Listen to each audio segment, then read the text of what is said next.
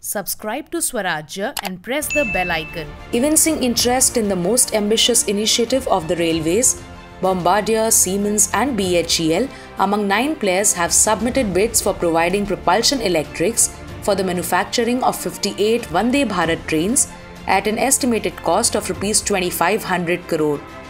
Earlier last year, the railways awarded the contracts to Medha for manufacturing 44 Vande Bharat trains. CG Power, Medha, Electrowave Electronics, Hind Rectifier, Saini Electricals, and Titagarh Wagons are among other players who have submitted their bids for manufacturing of the 58 Vande Bharat trains. Currently, the bids are being technically evaluated and it would take about a month to complete the process, said a senior Railway Ministry official. 58 Vande Bharat rakes are expected to have upgraded amenities as well as better seating, security, and surveillance systems.